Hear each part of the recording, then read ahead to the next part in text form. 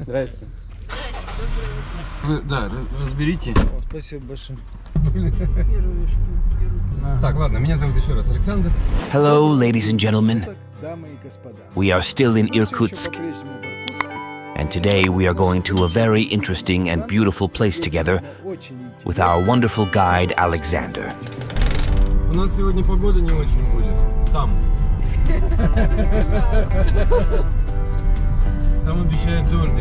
It is located on the opposite side of Lake Baikal from Irkutsk, already on the territory of the Republic of Buryatia. And Alexander takes us to the Lake Baikal Biosphere Reserve.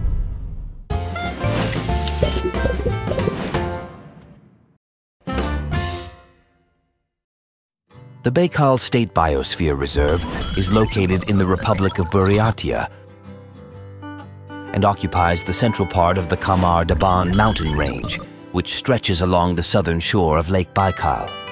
The central property of the reserve is located in the village of Tankhoy. To get from Irkutsk to Tankhoy, we have to drive 217 kilometers on a very well-maintained highway. And it will take about four hours. Today, we have four points on the plan. The first point is the village of Slyudyanka, or rather a visit to the Slyudyanka railroad station. After all, this is the only railroad station in the whole world that is made entirely of marble.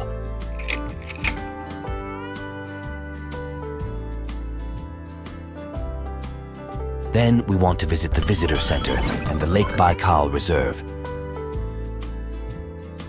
See the real Barguzin sable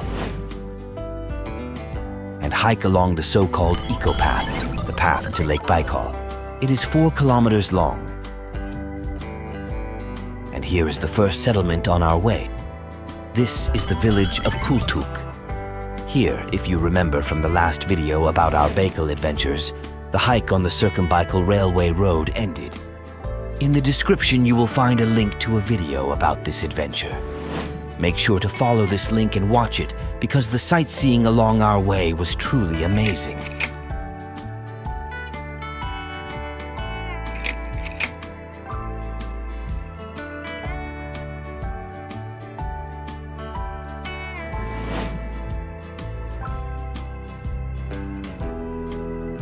We pass the village of Kultuk, and 10 minutes later we are in the town of Slyudyanka.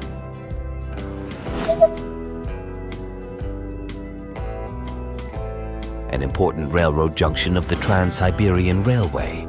In fact, the town owes its existence to the construction of the Trans-Siberian Railway. In honor of the mineral mica, known as Slyuda in Russian, the city was named Slyudyanka. Mica has been mined around this place for 350 years, and it was once considered one of the most valuable goods transported from Siberia to the central regions of the Russian Empire. In 1975, mica mining was discontinued, and the ore extraction in Slyudyanka was rededicated to the extraction of white and pink marble. The Moscow metro stations Barrikadnaya and 1905 Goda Street, for example, are lined with marble from Slyudyanka. And now, of course, it's time to remember the main attraction of Slyudyanka, the railway station building. After all, it is the only railway station building in the world made entirely of marble.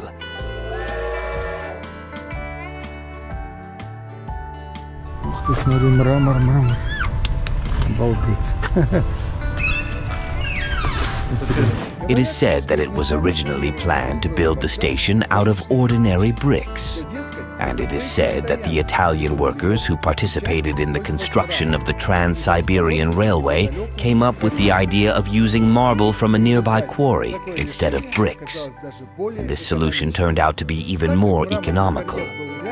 Since the marble quarry was nearby, there was plenty of marble. The Khamar-Daban Mountains around Slyudyanka are not called marble mountains for nothing, but the delivery of a large number of bricks to the construction site would certainly cost a lot of money. And to our delight, the station was open to visitors in mid-1904. It is remarkable that after more than a century since its construction, the exterior of the Slyudyanka station building has practically not changed.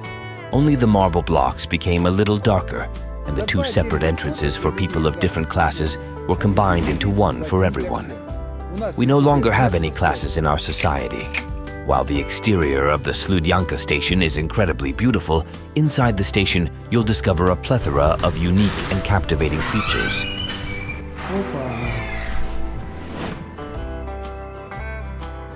Какая люстра шикарная.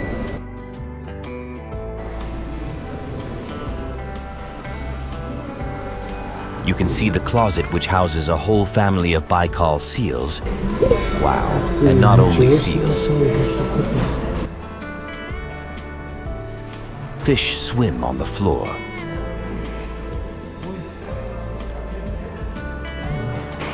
You can also find out a lot of interesting things about Lake Baikal, about its flora and fauna.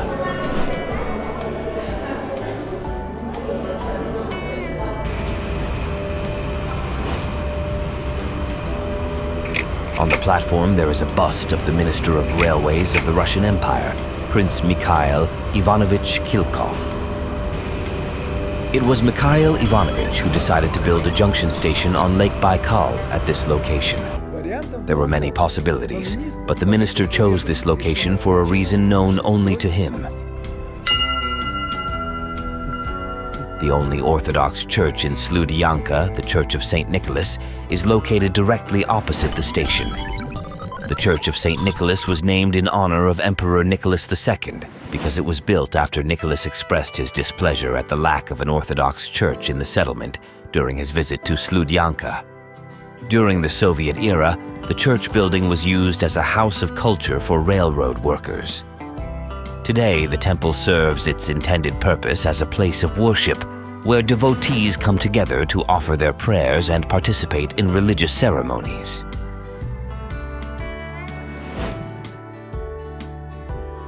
Attractions in Slyudyanka also include a water tower, a steam locomotive, and a house of culture for railroad workers. But we did not stop to take photos of these objects because we still had quite a long way to go and quite a big program.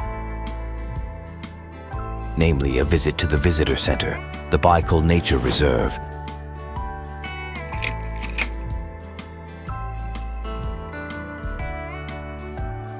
and a walk on the path, the path to Lake Baikal of the Baikal State Reserve. But more about that in the next video. Friends, thank you for watching the video to the end. If you have any questions, do not hesitate to ask them in the comments. And of course, if you enjoyed the video, please hit the like button. Moreover, you are welcome to subscribe to my channel. See you soon, friends.